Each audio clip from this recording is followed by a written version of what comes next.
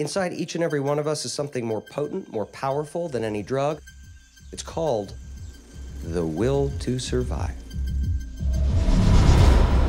What does it take for you to race? I just love to ride my bike. No longer confined to Earth, now we had learned to fly. He's a man transformed. He's recovered from cancer and turned into bloody Superman. Why are you so obsessed with this? Why are you not obsessed with this? He wins and wins and he celebrates. He meets the president. He gets more sponsors, more money, more fame. The man is a cheat. I'm the most tested athlete on the face of the planet. I have never tested positive for performance enhancing drugs.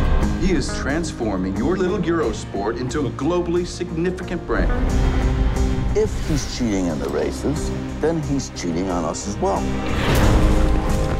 I will not be brought down.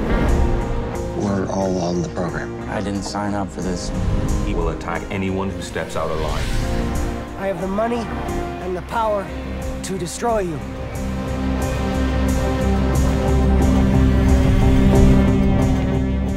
Tested positive for performance enhancing drugs.